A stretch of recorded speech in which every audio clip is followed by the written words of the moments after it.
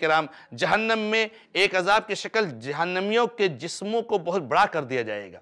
जहन्नमियों का होठ, जहन्नमियों का जिस्म बहुत बड़े हो जाएँगे और बड़ा कर दिया जाएगा। अबू रज़ी अल्लाह फरमाते हैं कि नबी ने फरमाया, जिरसुल काफिर और नाबुल काफिर मिसलोहद वह जिल्दी ही मसीरत सलास। सही मुस्लिम की रिवायत है कि काफिर का जो दांत होगा, यहूद पहाड़ की तरह से होगा। ये एक अजाब होगा कि उसके दांत को इतना बड़ा कर दिया जाएगा, उसके जिस्म को इतना बड़ा कर दिया जाएगा कि उसके लिए अजाब हो जाएगा। और उसकी खाल होगी, वो तीन दिन की मसाफत के बाद मोटी खाल होगी।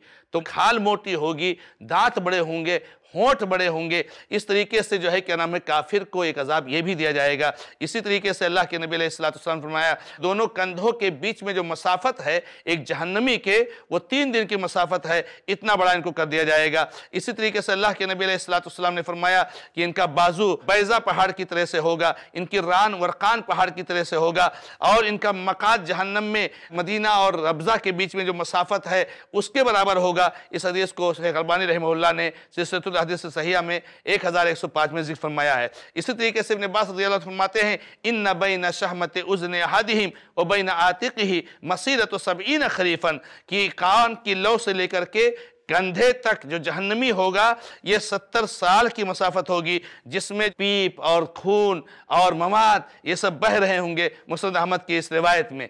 तो जहन्नमियों के अजाब की एक शक्ल ये होगी नाजन कराम, कि उनके जिस्मों को बहुत बड़ा कर दिया जाएगा। जैसे कि आपने देखा कि उनके जो है रान कैसे होगी, उनके कान कैसे होंगे, और उनके कान और उनके कंधे के बीच मसाफत कैसी होगी, और इसी तरीके से उनके दांत कैसे होंगे। तो इनके जिस्म को बहुत बड़ा कर दिया जाएगा, और इस तरीके से उनको अजाब दिया